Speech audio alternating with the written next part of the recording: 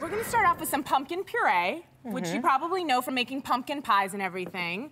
But it's simple to make yourself. You just have to roast up your pumpkin and about 35 minutes in the oven, it gets nice, and then you cut off the skin and you puree it in your Vitamix. So we're making a smoothie? this is the best blender on the planet. I you know, can do I have this anything in this thing. Oh, so do I. It was I the first this thing I unpacked when I moved into my house. Nice. Because you need this thing to do just about anything in the kitchen. So then you throw in some ice, a little bit of Greek yogurt.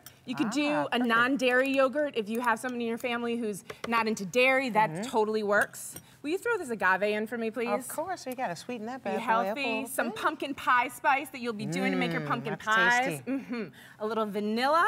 What about this Nana? Oh, get that in there, please. The please, whole please. thing? Uh huh. Just like that. You could put it in whole in the Vitamix, oh, wow. and it will take care of it. You don't even have to break it up.